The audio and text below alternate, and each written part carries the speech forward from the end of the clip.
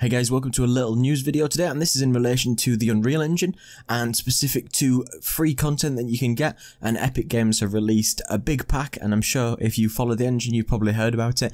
A $12 million sort of big asset pack from their game that they were going to release called Paragon, and it includes 20 AAA level characters with over 1,500 environmental props from the game in two of the major levels that were created for the game, and it's all for free to be used only, sadly, only in the Unreal Engine. So for Unreal Engines, it's not licensed to use the content. If you're an Unreal Engine developer and you want to get up to 20 free characters along with um, lots of different content, then it might be something that you want to look at. And in the future, they will be releasing more and more characters and content as the months go along. So there'll be more and more content for you to check out for free. And you can follow the link from the description uh, or go to the Unreal Marketplace and you can see the content which is available, which is a whole host of their a mixed array of characters, whether they be monster related, humanoid, or robotic and then you can get access to the actual announcer that was done for the game and the environmental props for the two levels which were created. So thanks very much for watching.